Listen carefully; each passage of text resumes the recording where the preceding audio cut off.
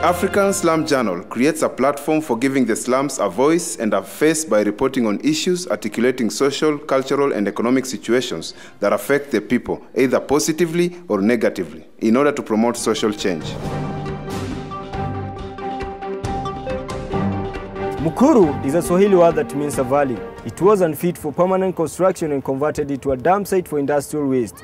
Due to poverty, people joined it for scavenging and grew up to a slum now with over 100,000 residents. For African Slum Journal, I'm your host Milan Kamau, reporting from Okuru. Kibera is the biggest slum in Kenya, second largest slum in Africa, and one of the biggest slums in the world.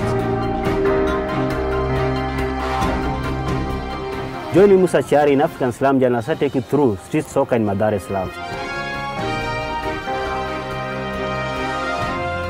Dandora is a popular slum in Nairobi, Kenya.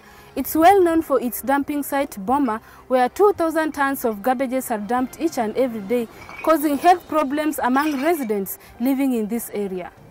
Join me, Eris Hajira, in African Slum Journal as I take you through the dark side of Nairobi City in Dandora slum. Welcome to Africa Slum Journal in Soweto slums. Live on the edge of Eastleigh Air Base, residents of Kiambiu slums still live in fear that any time bulldozers may come and sweep away their houses, leaving them homeless.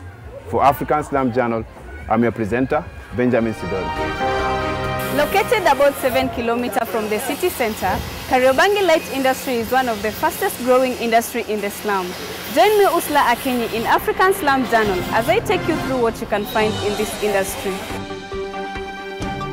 Generating billions of shillings for the government in revenue and creating millions of jobs for the people, Gikomba market is the largest open air market in East and Central Africa. Reporting for African Slum Journal in Majengo slums, I'm East Sambatia. These stories are reported by young journalists from the slums. For more of these captivating real life stories, please visit us on www.africanslumjournal.com.